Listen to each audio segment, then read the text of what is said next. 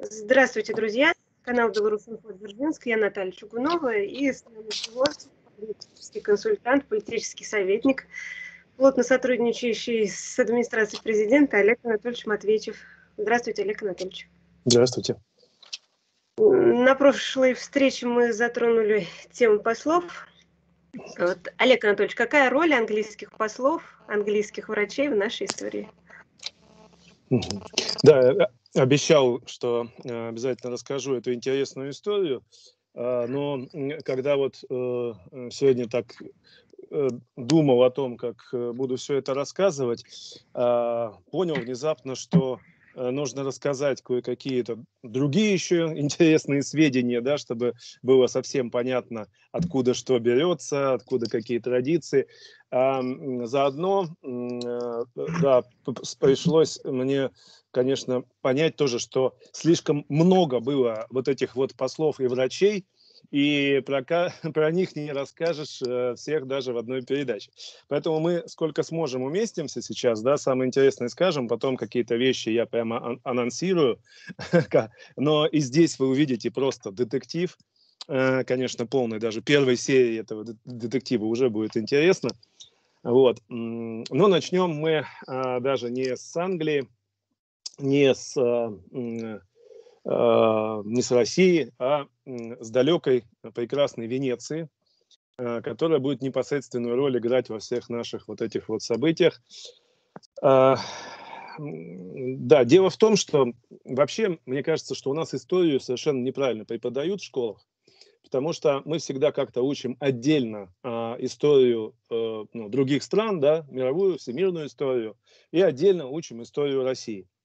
И когда мы отдельно учим историю России, у людей складывается совершенно неправильное впечатление, что э, эта история определена как бы из самой себя.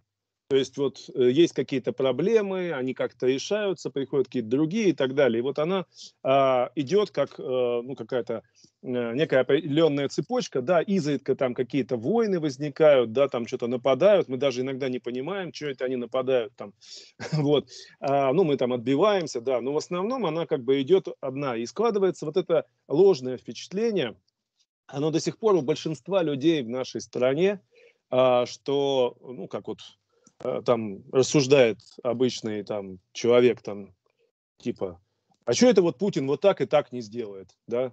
Вот взял бы и сделал, там, пенсии там повысил или еще что-то такое, да? Или, а почему мы вот то-то, то-то, что-то не делаем?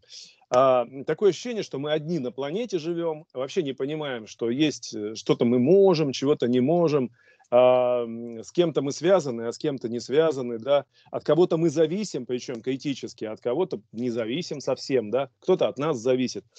И вот эти международные отношения на самом деле являются в значительной степени определяющими. То есть э, европейская политика, как минимум последние тысячи лет, это взаимозависимая такая история, и только из этой политики можно понять э, действия там, и наших государей, и многих других и так далее.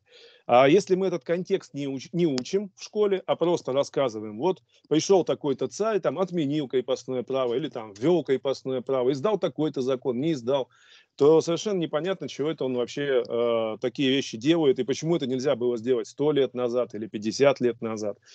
Вот. Почему вдруг у кого-то какие-то там доктрины появились, что он вдруг решил, что там Москва, Третий Рим и прочее. В общем, все это только э, можно понять э, из контекста.